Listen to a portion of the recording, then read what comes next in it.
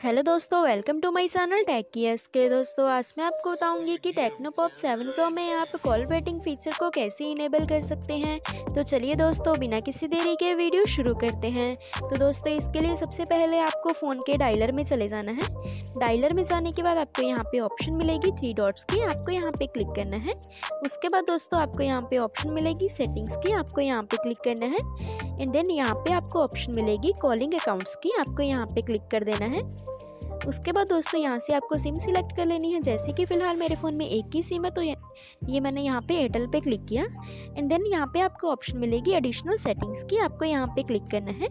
जैसे कि फ़िलहाल यहाँ पे मेरे फ़ोन में रेंज नहीं है इसलिए यहाँ पे कॉल सेटिंग्स एरर दिखा रहा है। देन ओके उसके बाद दोस्तों आपको यहाँ पे आप देख सकते हैं कि कॉल वेटिंग की ऑप्शन आपको यहाँ पे मिल जाएगी। आपको सिंपली यहाँ से इसे ऑन कर देना है तो आपके फ़ोन में कॉल वेटिंग फीचर इनेबल हो जाएगा।